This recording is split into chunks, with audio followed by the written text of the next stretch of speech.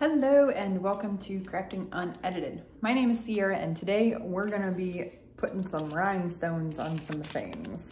So Heat Transfer Warehouse, one of my partners, is really big on pretty much every type of crafting element you could possibly need. so they sent me as part of one of our garment decoration challenges, um, some of their hot fix rhinestones and some other materials as well. I did not use these in the garment challenge because I was still learning how to use them. So now that I've got a little bit of insight on how to use them, I'm gonna teach you how to use them as well. So these are Hot Fix SS10 rhinestones. They're about 2.8 to 3.0 millimeters big, round, whatever you wanna call it. Um, so that conversion will help you later on in this video um, when you're in design space and trying to make your template. So they sent me the rhinestones, which has the self-adhesives, not self-adhesive, the heat activated um, sticky stuff on the back and this. At first I was like, what the heck is this? Why are you sending me some regular vinyl to put on a shirt? I was really confused until I saw these and then I started looking at how to make templates for these with this. So this is like a flocked adhesive vinyl. It's not a heat transfer vinyl. It's not meant to be used with a heat press or any heat for that matter. Um, so it's just like a flocked vinyl. It is pretty thick. You can see here, it's, it's very thick. And it's not, you can tell it's not heat transfer because, or iron on because the grid lines are on the back side. It's not like a clear mask on the front. Um, it's not a patterned one either that you put on a mask and then flip it over or anything like that. So it is a flocked vinyl um, and that does show up in Cricut Design Space. So you'll definitely be able to tell the difference when you get this stuff. It's much thicker, it's much tougher, and it feel it has like a suede almost feel to it, which is pretty cool. Um, so Hot Fix rhinestones. I already forgot what it was called again flocked vinyl, heat press, template. We're gonna dive right on in. So the first step is going to be actually to get your flocked vinyl, figure out which one it is, your rhinestones. This is the important part, is figuring out which rhinestones you have. If you've gotten hot fix rhinestones from anybody else other than um, Heat Transfer Warehouse and you're not sure how to convert the measurements, I highly recommend you reaching out to the manufacturer to find out what size you need super important with this, unless you're freehanding it, then by all means, freehand away. but I wanted to show you guys how to use it using a template. So the first step is gonna be finding your image. You're gonna wanna find what kind of image or template you want for this video and pretty much everything that I'm gonna use these for. Um, I downloaded a font from designbundles.net you can see that on um, the next part of the video as well. And I just downloaded that onto my computer, uploaded the file. I show you exactly how to do that as well. So keep watching and I'll be back soon. Alrighty, so this is what I am using in uh, Cricut Design Space. Um, I got these fonts from designbundles.net and I'm going to show you exactly how to put everything together so that you can create the template for your rhinestones. So what I did was I went over to designbundles.net and I looked up rhinestone designs, dance rhinestones. Um, you can just search rhinestones. Um, they have plenty of options to choose from. Um, the file that I chose is this one, rhinestone or vinyl template. You can use this with SS10 stones or any other stones really. I'm going to show you how to size it based on what you need. And then what I'm going to do is uh, also show you how to use the template or the file, sorry, not the template, the file that you need. So you just download it to your computer. I'm using a MacBook Pro, so the process is going to be a little bit different. You're going to open the file where it has downloaded to. Here's mine, Cricut. Um, it's a zip folder, so you have to open it, and then you go into Layer SVG, and you just put that in Design Space and your uploads over here. And then from there, I've got my design right here, and then you add to that to the canvas. Once it's added, it is very, very large. Um, but you can see here, it shows right here. So for the whole thing, um, it actually tells you the instructions, but it says 11.11 by 14.26 is the size of the whole thing.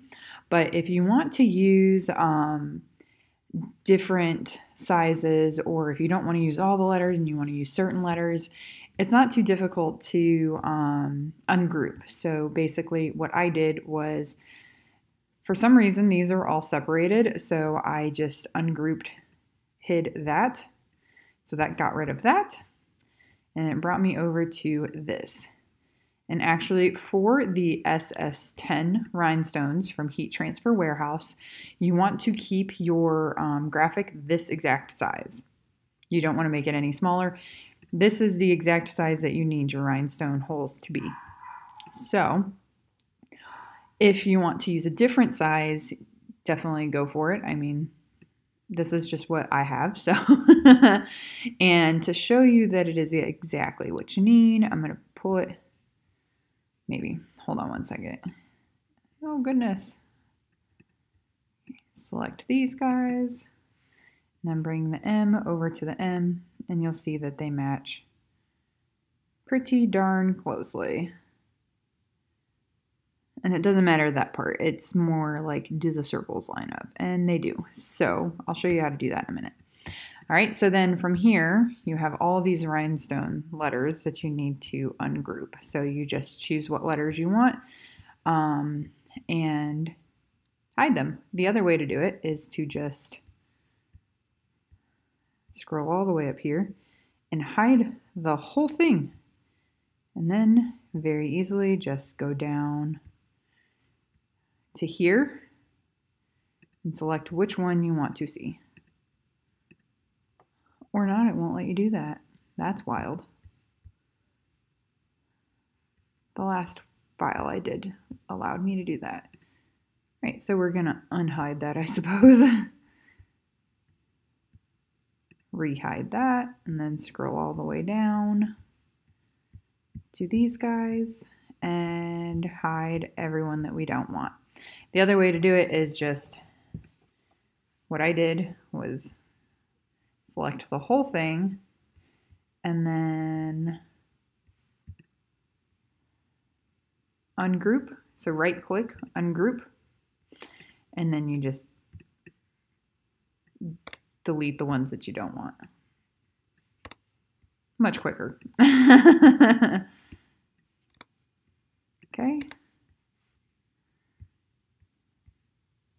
Computer's a little laggy.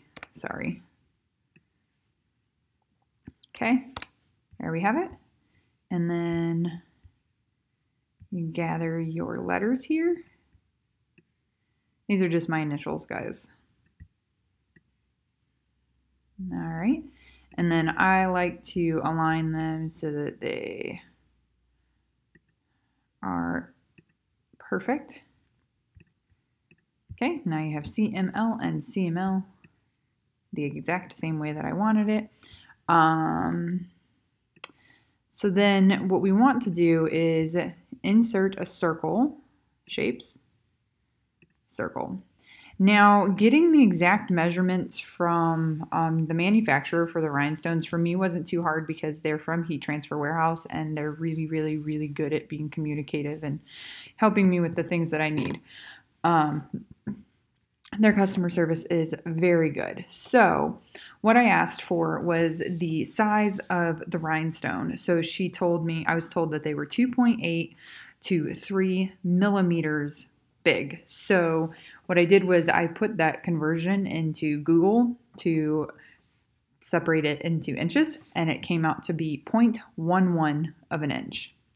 So basically what I do is I just remove that and put 0.11, and there we have the exact same size as what these little guys are.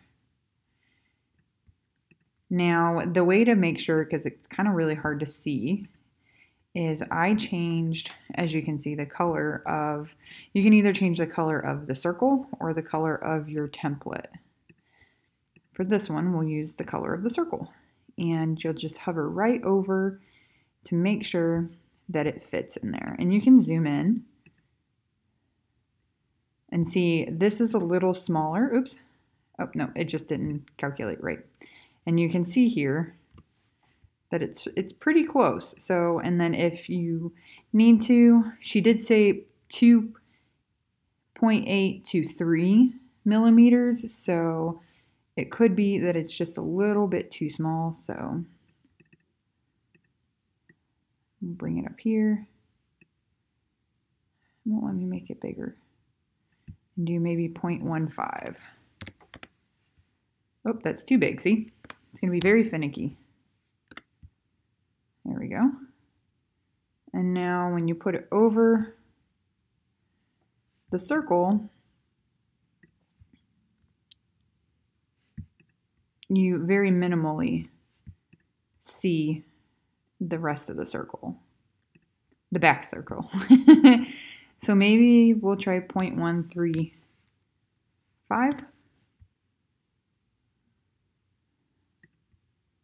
There we go.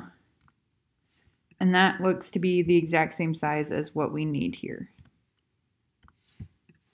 So the goal is to have the gray circle here not be visible under the purple circle there.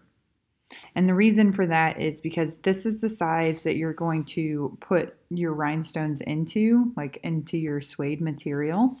And um, that's what's going to hold them in place while you put the, um, the heat transfer mask on top of it so that it doesn't go all over the place. So as you can see, they're about the right size. And because it's about the right size, we're good to go. This one I did, these are 0.11 for the circles, so they're a little smaller. I'm actually going to cut both sizes to see which one fits better. Now what you're going to do is you can save this little dot for later if you want to, or you can just get rid of it for good. I just got rid of it.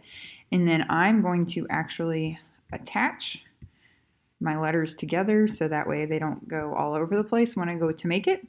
And then we're gonna head on over. Alrighty, now that we've got our design, we've got our template all mocked up in design space, we're ready to cut it with the Cricut.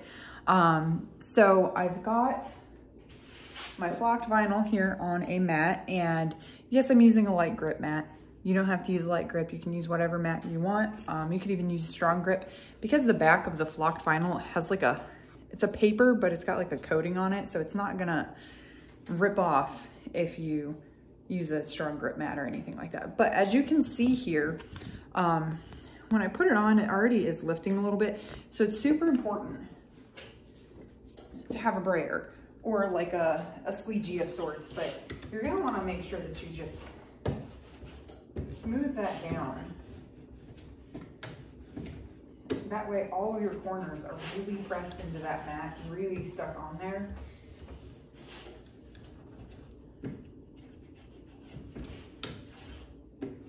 Because if you don't, as your as the Cricut's going through, it's gonna catch and then pull.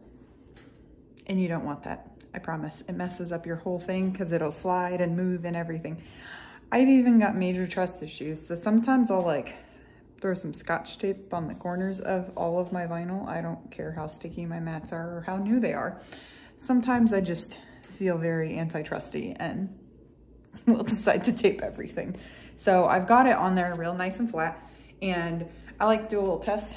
So if you bend it just a little bit, none of your corners come up. See? Okay. All right, so now we're gonna go on to the Cricut and let it go through the first pass through. Okay, so the first pass is done on the um, flocked vinyl and you can't even pull up one of the circles. So major tip slash hack here that I've kind of gone over before, but I'll repeat again for this specific project. So I haven't pulled my mat out of my Cricut yet. It's still in there as if I was getting ready to hit the eject button, but I'm not going to. I'm gonna leave it just as it is, and I'm simply going to, instead of hitting the arrows, I'm gonna hit go again. And I will continue to do that every time until I can pull up those little circles. This prevents having to trial and error and pull up and potentially start all over or get like overcuts or undercuts. Um, and then also it prevents going too deep to where it's cutting all the way through. You don't want it to cut all the way through because it leaves a massive mess on your mat. So just hit the go button, let it run its course as many times as it needs to. Once this is done, I'll tell you exactly how many times it took my Cricut on the setting that we have that I picked in the computer. and that way you know which one to choose. I have the Maker 3 and there's just a regular, um, words are hard, a regular blade, fine point blade in there, nothing, no knife blade or anything like that. It's just a regular uh, fine point blade and the Maker 3 and I use the MacBook Pro. Computer doesn't really make a difference on the Cricut cutting, but that way you know. All right, as soon as it's done cutting, I'll be back. All right, so we finally got all the little circles out.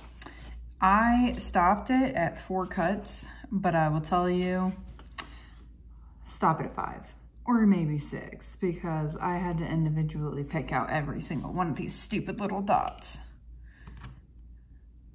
So five or six cuts, I would say.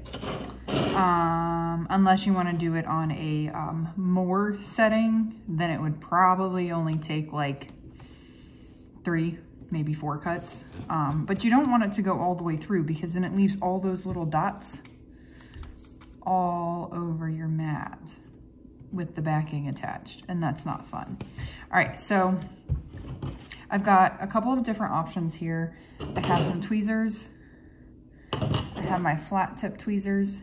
I have the squeegee thing. It's actually not used for crafting, but it is today. Got this little scrapey thingy and some more tweezers.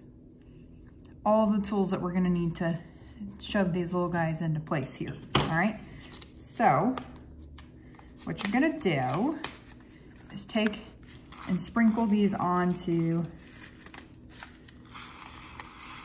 your, and this is where we find out if they were 2.8 or 3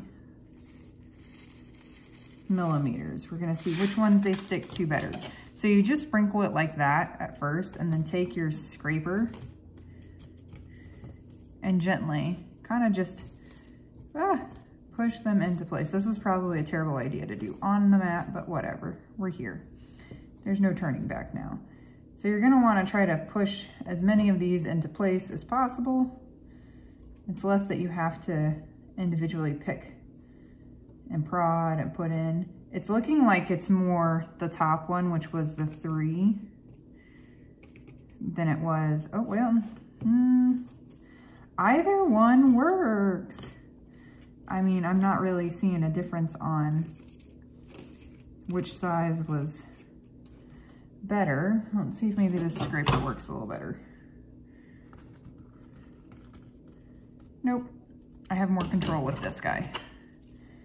And put these little stones back on. So the point in this stuff here is that it's not sticky, it's very soft. So the rhinestones will just kind of like glide around on it and fall into the holes.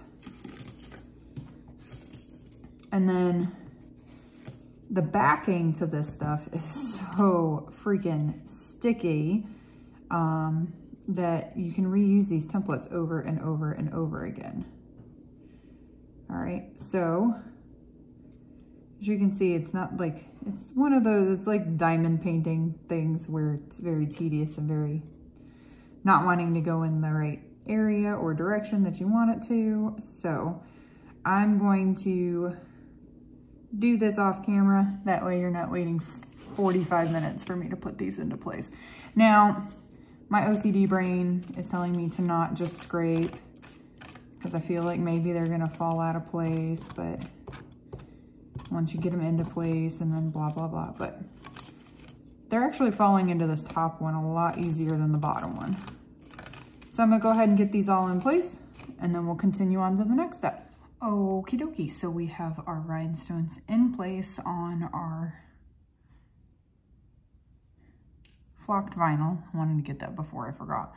And you want to really make sure that you don't have any um, extra rhinestones hanging around and that they're all in place where they should be. And it looks like mine are.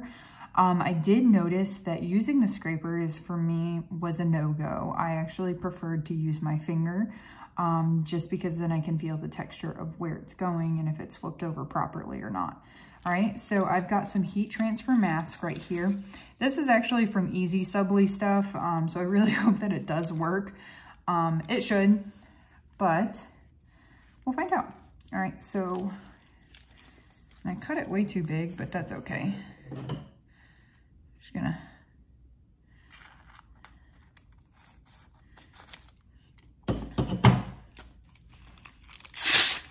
All right, so you just take your clear mask. Oh no, and I've already got a few coming up. All right, so we're gonna have to realign those. Um, gently pick them up using a scraper. I wonder if I can just squeeze them right back into place where they should be before I pick the mask up. And just like shove them back. Oh yeah, that worked. Okay. So all I did was push it back into place using my squeegee. I don't know if it's necessarily going to work for all of them, but we will find out.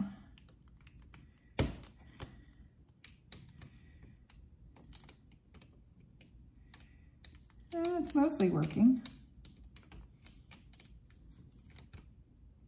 I questioned where I was putting my tape or mask, and that's why they got all funky, so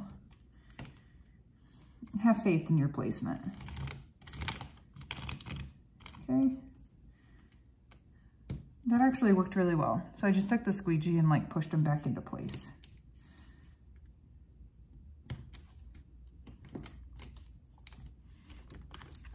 Okay.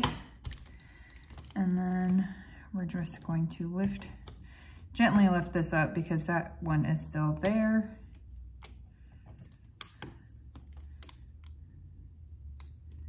Because you don't want them to fall off.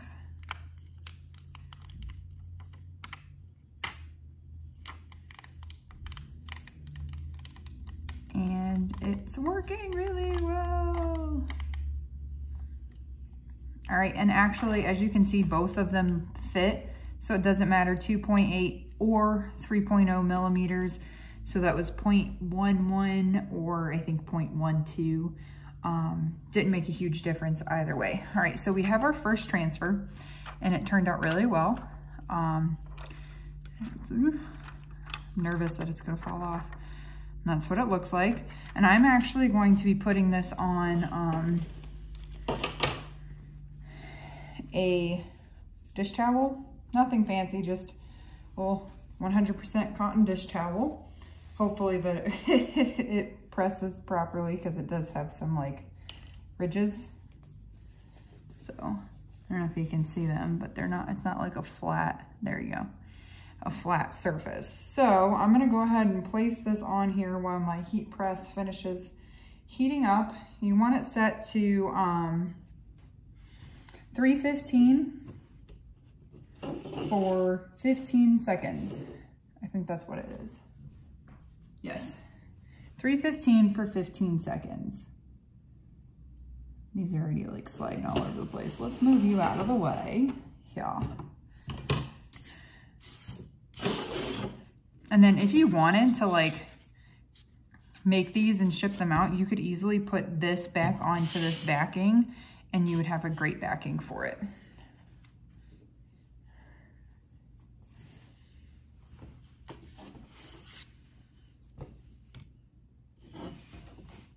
no. Get back on there. You stay put. All right. I usually have a lint roller, but uh, I'm failing this train today. That's all right. It'll be okay. So what we're gonna do is in just a second, we're gonna head on over to my heat press. I'm gonna do a pre-press on this and then I'm gonna press it, okay? All right, so the heat press is up to 311 now, so I can go ahead and do my quick pre-press here. Basically, we're just going to do right at the bottom to get out any moisture that might be in there.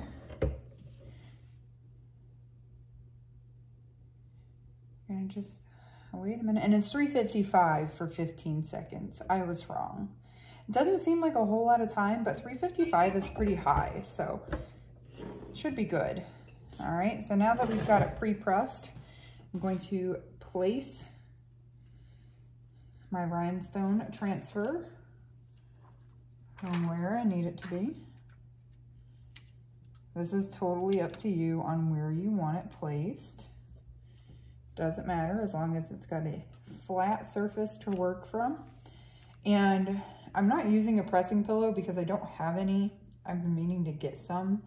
Um, but for something like this, it's probably smarter to use a pressing pillow because it has the seam on both ends here.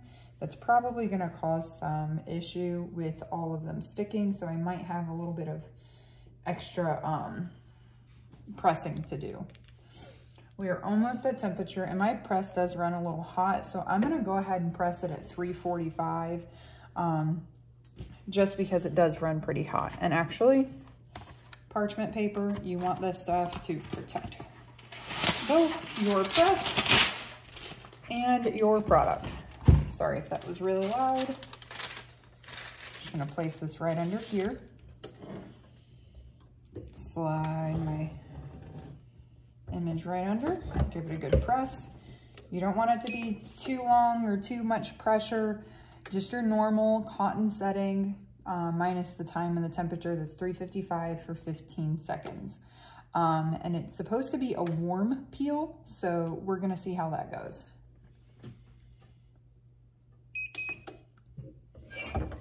Okay, lift it, turn it over, Move my parchment paper down. And let's see what we got here. Oh, looks like we are golden. It's in there, and this is so pretty. I cannot wait to do my daughter's dance thing. So you can see here, I'm like, this is literally right after it was pressed. I'm pretty much rubbing as much as I can on here just to see because I'm crazy like that. I have trust issues like we spoke about earlier. But this is so cool. It's on there. It's not going anywhere. See? And you can, of course, feel it, um, but they're not coming off. I'm not going to do the other one today. I'm going to wait um, just because I want to put it on a makeup bag and I don't have said makeup bag yet. Um, but this is on there. Like, they are not coming off. And the only, it's like adhered because it's a terry towel, so it's going to have like those pieces lifting off, but on the ones that are like not there, they're not coming off. I would love to do this on like a gym bag for my daughter's dance stuff or my son's CrossFit stuff. That'd be pretty sweet. All right, so gonna move on back over to the uh, tripod so that I can tell you how to take care of this. Alrighty, so gentle cycle, inside out, all that good fun stuff do what I say, not what I do. Um, I'm probably just gonna chuck it in a regular wash with the rest of my towels because that's what I do. I typically just throw it in there and pray to the laundry lords and hope for the best. So if you really want to do it right, listen to what I say and not what I do, gentle cycle, cold, and um, if you're doing a t-shirt or something that can be flipped inside out, you definitely wanna wash it inside out and hang dry. Um, but like I said, these are pretty on there, so I don't feel like they're gonna come off, but you never know. You can always just do what I do. Throw it in, pray for the best. All right, but I am really impressed with these. Again, they are the Hot Fix rhinestones. Um, I got mine from Heat Transfer Warehouse, and this material is the flocked adhesive vinyl. Doesn't matter what color you get. It's just for a template making process. Um, and then what I used for the mask was the site, the um, EasySubli mask. You can use any heat transfer mask. So if you've done some iron on vinyl recently and you have that mask still, save that. Be resourceful because that stuff will work just as well for this. So there you have it, my friends. That is how you sub, not sublimate, I've done sublimation so much. That is how you use Hot Fix rhinestones. Remember, like this video, comment, share, all that good fun stuff. And I'm gonna drop some links down in the description for you so you can get you some of these Hot Fix rhinestones.